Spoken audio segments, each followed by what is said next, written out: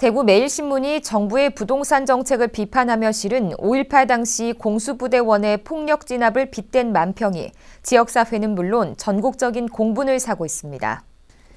5.18 기념재단과 5월 단체들은 성명에서 5.18의 깊은 상처를 덧내는 무책임한 행위라고 비판하고 진정성 있는 사과와 함께 만평 작가의 즉시 교체와 재발 방지 방안을 마련하라고 촉구했고 민주당 광주시당도 해당 신문사의 공식 사과와 재발 방지 대책을 촉구하는 성명을 냈습니다.